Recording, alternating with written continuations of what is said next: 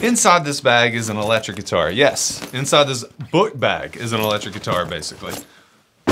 And this is the guitar. This is a Journey electric guitar.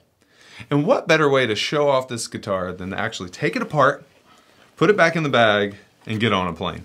We can go somewhere like, I don't know, Chicago. So, yeah, let's go. I'll see you there. Hold on, I'm gonna take it apart though. All you gotta do is unscrew this thing, press this button, watch this. Yes, the neck comes off. Oh, we gotta watch that headstock. It comes off as well. Put it back in the bag. Come on, let's go.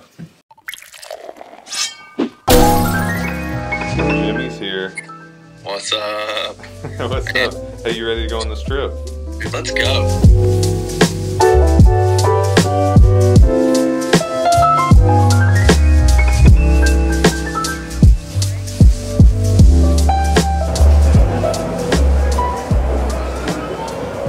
See him. I think I see him. I think I see This him. escalator is, is, is my whole trip summed up right here. Things not working. it. Things not working. It just doesn't work. Dude, what's up? What's How up? you doing? We just rented a car. Yeah, finally. This lighting is just. This is, I'm gonna put this, This is my studio. new studio. No, no. Hey, we got our car finally. Got it. Let's get it. Excited. Escalade. yeah, if Escalade looks like this. Look who finally decided to show up. Dang, that's a wide lens. You can see. You can see me. Yeah, that's why. Whoa. Are you tired? I'm tired. My eyes. Are you ready for this closed. conference tomorrow? I don't. I think I'd rather sleep in right at this point. So when I already you're, know how to legally lead worship. do you legally lead worship, Kevin? Every Sunday. Every Sunday. That's right. I don't know if we do. I gotta go to the breakout session. There might be stuff I don't know. I didn't know about shelled eggs. That's right. You gotta know no carton. I thought you. no carton. No carton. Before I let a couple of my friends play this guitar, and you might recognize them. I felt it move a little bit. When we did that. Probably If you would have saw, we need to know. That's what you want to know. Uh, I want to talk about the guitar itself. This is the Journey OE, that's overhead electric, is what they call it. Uh, the OE 990CB, and they said CB because of me, Chad Buckland, my name. Um, no, I think it's a cherry burst, the color. So if you're looking at the other one, it might be BL for the blue one. I don't know what the other one is. This guitar is really interesting because it breaks apart, as you saw in the video already. It goes in a bag that looks like this. They do that so that way you can travel well with it, and it travels pretty well. And it's uh, really cool because it's not a very tiny guitar. It actually feels like a, like a normal size guitar. Let me show you in comparison. This one is a guitar that I built when I was in high school, and it's not very much difference in size. Just a little taller maybe. And check this one out. Our electric guitarist here at the church, he gave this one to me on, in my right in my right hand here. I'm just kidding. He didn't give this guitar to me, but uh, we can compare the, the the the one that breaks down and travels with it, and it it's not too terribly much smaller. And this guitar is massive. That's why I'm comparing it with it because it's so different. So as you can see, even though it's a travel guitar, it's not tiny. It's not tiny by any means. It feels like a normal size. And it's a 25 inch scale that's uh, 635 millimeters uh, as far as like the scale of the guitar. And the overall uh, length of the guitar is 38 inches. Yeah, pretty guitar too. Uh, Let's just talk about looks for a second. I like this, the cutout here and how they angled the uh, cutout section there. I like this little, the notches here where the strap goes is pretty cool. Um, it just has a, overall it does look really good. I love that the strings go through the body. And that's what's cool about this is it has an adjustable steel bridge but it's also a through body, through body hardtail bridge. I, I think that takes it up a, a notch for me. I think that's pretty cool. The tuners are the Journey 18 to 1 locking chrome tuners. These are dual coil splitting humbuckers and it does have a three way switch for you as well as the volume knob and a tone knob. Pretty simple as far as the setup of the, uh, of the electronics, which is kind of nice sometimes, you know, when you got like 1800 knobs and then seven switches on a guitar it can be, you know, like why? Why? Just make a guitar. You don't have to make a spaceship. The neck on this overhead electric is uh, a maple, which is nice, and it's C-shaped. It's actually kind of C-shaped, but it feels pretty good. It's nice and smooth. It doesn't feel too grippy, but it, and it also has uh, a really good feel along the fretboard as well. You, you can't feel the frets. The nut is a bone nut, but it does have this little contraption over the nut that allows the strings to stay down into this like really deep setted nut. Uh, so that way the strings don't just fly out everywhere or like start pulling on the uh, tuners when you take the neck off. The fretboard itself is a 16 inch rosewood, pretty standard, um, and it does have 22 frets on the board. All right, so I just got it out of the bag. Filming Jimmy, filming Chad. Am I messing up this video? No, you're good. Not my video. I'm the, I'm the voiceover that you're hearing from there. Oh, let me see the headstock. Yeah, check out the headstock. Okay, there you go. The headstock's important. I want to make sure the strings are twisted. You want to make sure. I want to they're make sure they're twisted. twisted, but And they, it just seems like the logical way to put it on there. maybe you should take it out of the bag. All right, I'm gonna slide the headstock on, All right, it's being assembled. slide it in. Let's make sure these Notice are. it's one person doing assembly here. It's not multiple. It's not a team of people. Not a two-person assembly job. No, and then you just Look at that. pop it down. Snap. It snapped, Oh, it snaps in. and then you tighten What? Look at this thing.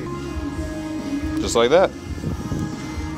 You don't want to fill any play, There it is. and it's got pretty good action, despite literally just being assembled. So, the thing that's cool about it to me is that it's it looks like a normal guitar. Right. Like it's a it's in it's a lot of travel guitars. Pretty that sit in normal size, right? Like Yeah. don't look like normal guitars. They they also have a like a bluish teal kind of sunbursty look. That one looks better than this one, but this is the one they sent me, so we're going with this. All right, let's get uh, set up. Here you go, sir.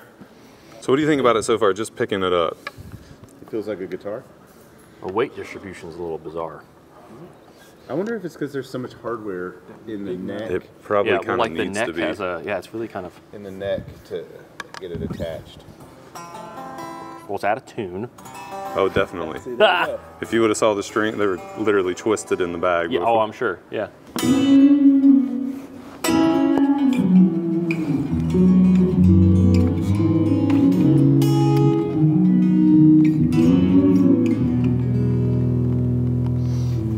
That's that neck think? is bizarre, but it, it, Yeah, it yeah. it's it that makes it hard to play like in that regard. But the like the playability, if you can like remove that, is nice. It makes me wonder if they have to beef it up. Uh, yeah, I mean, I'm sure. Yeah, and I'm, that's what I'm Yeah. thinking. Because like it's like a It may be the way that this this part connected right here, because there was like these two big long screws. Yeah, these rods. Yeah, they're like little- yeah. But it's like it's like curved in and then it's flat. Right. Like I don't. I've never played a shape. Oh, is it like shape. the Les Paul that we had, the Epiphone, a little bit?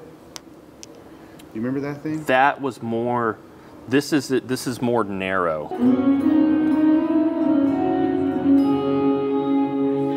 What do you think about it? The neck is different. I will agree Mm-hmm. with Bradford. The neck is different, but I don't mind it because it's. I like chunky necks. It's pretty chunky. Um, the fretwork is like surprisingly good. I'll say that. It plays nice. It seems to be in tune.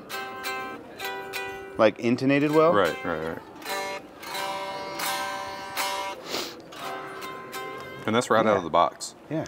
How much? back. How much does it cost? That's the question. I think it's six Six hundred bucks or six ninety nine. Yeah, somewhere around in there. for a Between guitar five that and you seven. put in a backpack and right, travel with. right. I mean, that's pretty cool.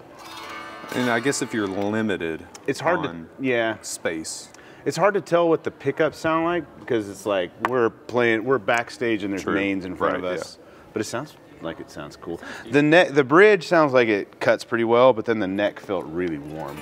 So And the neck was pretty warm. like it felt like there's a pretty big.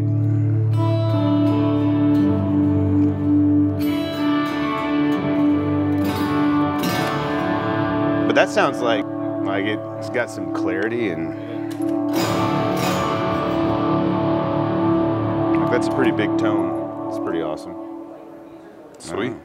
Yeah, I, I, I dig it. It's cool. I think we, Bad looking guitar. do you want to try it? I, I will- I will play that. Play it. I'll film you. Yeah, I was wondering how the action was going to be, and it's it's pr- it's pretty nice. Sounds good. The neck, I was wondering after y'all said it. I agree. The neck feels a little weird.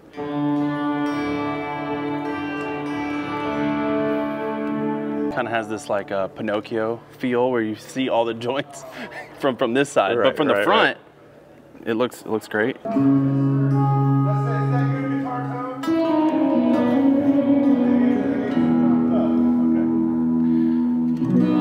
So we got a thumbs up from the tech crew. Production Okay. says it sounds good out there. Okay, good. That's that's what we need to know. That's what you want to know. That's right. Y'all do guitar lessons? You. That tone sounds great. That sounds Even amazing. Backstage, back behind the speakers, it sounds real good. Hey, walk out there and just Yeah. see we can capture a smidge of that with that mic real quick.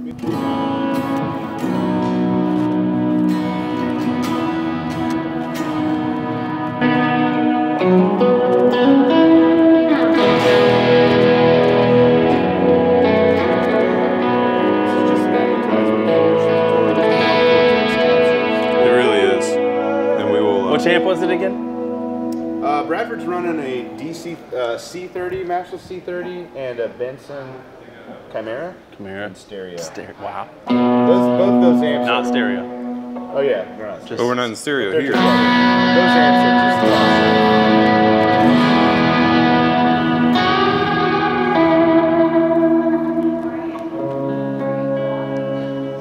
Yeah, we're. I'm. I'm yes. I am. This isn't my camera. This is camera. I don't know where my camera is. Oh, it's right here. This is just camera. Oh, whoa, whoa, I felt, Oh, it, yeah. I felt it move a little bit. Probably. he might break it. Hold on. Here, why don't I, why don't I get I'm him? kidding. I'm kidding. I don't care. Hey, I would play this. Last final thoughts. What do you think? Uh, it looks great. I think it, look, it looks it looks great. Like from when you're looking at the guitar, I think that looks like a, a really cool guitar. Mm-hmm. It is unique, but it does unique things. So, I mean, being able to fold it up and bring it on a in the plane with you, like you did, I think that's that could be valuable Sticking to in the people. overhead. There he is. There he is. It's the The real legend right here. Uh, you know what they call me, Jimi Hendrix. Do they? thing. I've never heard They that. call him Jimmy Cooper. You never heard me play guitar, have you? I have. Amazing, right? Mm-hmm. You get whelmed. I'm always whelmed. I don't really like it. so what is? Let's take it home. Here we go. Unscrew the back. There we go. We don't strip it out there. Hit the button. Neck comes right off. A little snug, but that's good. That's a good thing. We're gonna lay it flat on the ground here. We're still in tune, everybody. All right, we're gonna put that up in just a second. This goes in a little side pocket. Slide this into the uh, computer section. Done. Open that up. This will not be taken out until I get home after sending it through security. Okay, put this in a little pocket here. Oh yeah, they have this little protective thing. That's kind of nice, but it, I don't know. It's kind of designed weird, but we still use it anyway. And then this somehow goes here. So I'm just a little confused on this section because I don't like this just floating in there. So I need another spot for this, just to be truthful. And like, what do, what do I do with the strings? I don't want them touching the guitar necessarily, so I'm kind of confused on that as well. But that's how they say to do it. All right, here we go. Close it up. But it did still, so I want to say this, it did still have plenty of room for like my computer stuff. I had a couple, a camera in there, some other camera gear. So that was pretty cool that it, you can carry all that stuff right there in your guitar bag. So that's a benefit, I guess. We are back from Chicago. This guitar was a lot of fun and it kind of brought some of us together um, to be able to hang out for a little bit. So thank you Bradford, thank you Brian, thank you Jimmy uh, for hanging out with us and playing this guitar. Thank you Kevin for filming a little bit and hanging out with us as well. But this guitar was um, interesting to say the least. Overall, it was, it was pretty decent to travel with. It's seven point something pounds, the guitar itself. And then when you throw in the bag, it makes it, uh, I don't think that's three pounds, but they say it's like 11 pounds something. Um, 11 point something pounds total. Uh, not to mention maybe a computer or something like that. The bag is actually kind of nice. It has a good feel to it, good weight. Uh, it doesn't feel cheap at all. It feels protect, protective. Um, it does have a front pocket that you can slide some stuff in, nice deep front pocket. As you can see. It has a second pocket that you can put some other stuff in. You can put um, maybe a iPad right there, some pens, other things. So this is like a typical book bag pocket that you have. You have a key thing right there. The third pocket is nice because you can slide a nice large computer. I have the 16 uh, inch MacBook that went in here just fine. There's, you know, it could probably fit a little bit bigger as well. As well as it has some depth to it and you can put some clothes in there if you really want. See that? That's kind of nice. In all reality, do you need a travel guitar? There's a lot of options out there to travel with your regular size electric guitar, acoustic guitar, bass guitar. It's pretty cool. I, I, definitely think that there is some use for it. I don't think it's necessary for everybody, unless you just want to be able to say, yes, my guitar comes apart. I think that's, it's kind of that second kind of cool factor of like, yeah, it's just cool to have. It plays pretty well, it sounds pretty good. I know I'm not much of an electric guitarist, but from my friends, you know, they can tell like it plays well. Um, so I don't think you're sacrificing a whole lot there by going with something that can travel pretty well. But if you're looking at this video because you are already interested in this, I think you should go for it. I think it's cheap enough. I think you, you can't afford not to buy it. Sorry, I can't say that. No, but I, I think it would be a great buy if you are in the market for something like this. Um, or if you're just a guitar collector, I think that's pretty cool too. Really cool thing.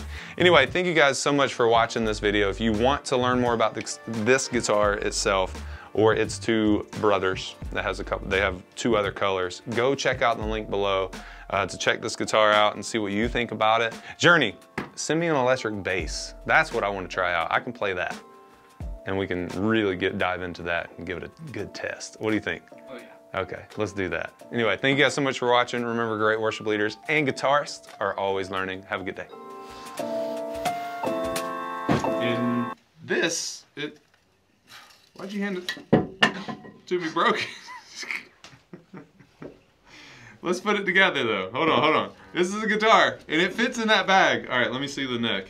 Let me see. All right, it go. This goes in like this. Yeah, just like that. And then here's the body of the guitar.